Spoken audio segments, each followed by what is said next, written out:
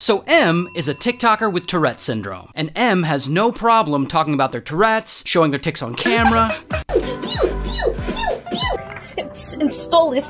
Until one day, people online start accusing M of faking their Tourette's. What proof do these anonymous people have? Well, M also has a pagan yarn dyeing business. That's a real thing, which M produces separate content for on YouTube. And in the videos for this account, you may notice M doesn't have any tics, which is wildly different from the way M acts on TikTok. So people notice this and they are not happy and they start blowing up M's comment section. You don't really have Tourette's. You're faking it! What the hell is pagan yarn? So M sees this and M makes kind of a playful video reply, sort of addressing it, but not really taking the hate seriously. But then, before all this chaos, someone created a subreddit dedicated to nothing but investigating M. And people are posting all kinds of stuff there, like an old video of M on a live stream performing a spoken word poem, but no tics. Or the contents of your mind. So M continues to get dragged through the mud, and I guess that does it. Cause finally, M starts taking this seriously. And they make a TikTok showing proof that they have Tourette's, showing an outpatient consultation document. But people in that subreddit are still not convinced, and they immediately start debunking it. Now, on that medical document she showed, it does in fact say Tourette's. However, it also says Huntington's disease, which, to be fair, Huntington's disease can sometimes cause certain kinds of tics. But then, in a weird twist, someone in the subreddit finds an old video of M talking about having Huntington's. May is Huntington's Disease Awareness Month, so I decided to make this video. And the video's five minutes long, and in it, M has no tics. So people don't know what to believe at this point, including myself. Like, is it Huntington's? Is it Tourette's? Is it all fake? What the hell does M have? But then, as if this couldn't get any weirder, people in that subreddit somehow find members of M's family, and they start reaching out to them to ask, does M really have Tourette's? And eventually, M's alleged sister releases an official statement to that subreddit, basically saying she can confirm that M does have Huntington's disease, but highly doubts M actually has Tourette's. Then, M's mom jumps in, and she releases an official statement to the subreddit, and she basically confirms that yes, M does in fact have Huntington's disease, but not Tourette's. So after all this heat, I guess it's too much for M to handle, because M just completely deletes their TikTok and all their social media accounts. However, after a period of time, M reemerges with a new account and makes new content and focuses on not their Tourette's, but their paganism and witchcraft.